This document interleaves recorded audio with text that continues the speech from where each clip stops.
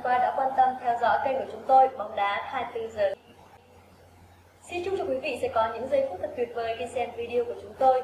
Đừng quên nhấn vào nút đăng ký kênh để được nhận những video mới nhất, hấp dẫn nhất của chúng tôi được cập nhật hàng ngày qua kênh bóng đá 24 giờ. Và sau đây, xin mời quý vị và các bạn cùng đến với chuyên đề tin tức mới nhất về đội tuyển Việt Nam. Ai lấp đầy khoảng trống văn hậu ở U23 Việt Nam?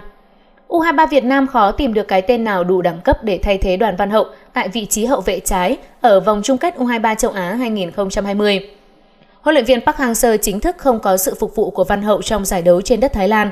Ông thầy người Hàn Quốc đã làm mọi thứ có thể, đã nhờ tới sự tác động của Liên đoàn bóng đá Việt Nam và câu lạc bộ Hà Nội, đã không dưới một lần thể hiện mong mỏi.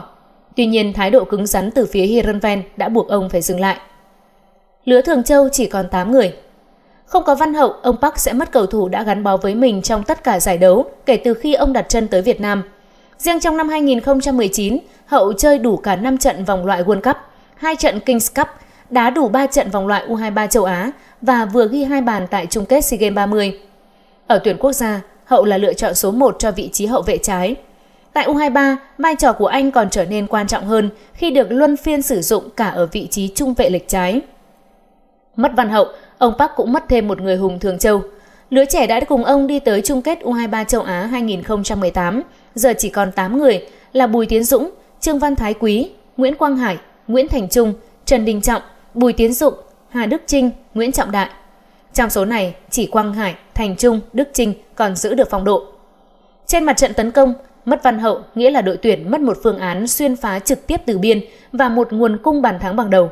Quang Hải cũng mất đi một đối tác ăn ý, có thể đập nhả 1-2 cùng anh tới sát khung thành đối phương.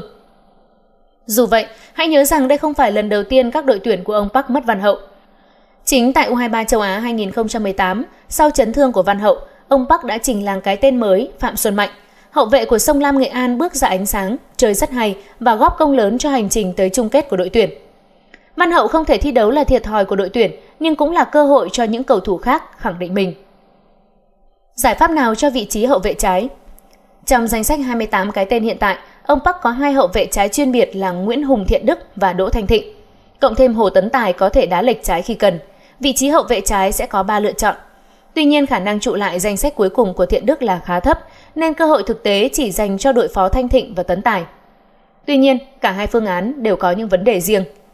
Nếu dùng Thanh Thịnh, ông Park có một cầu thủ hỗ trợ tấn công tốt, tạt bóng, căng ngang khá hay, nhưng phòng ngự kém, thể hình hạn chế.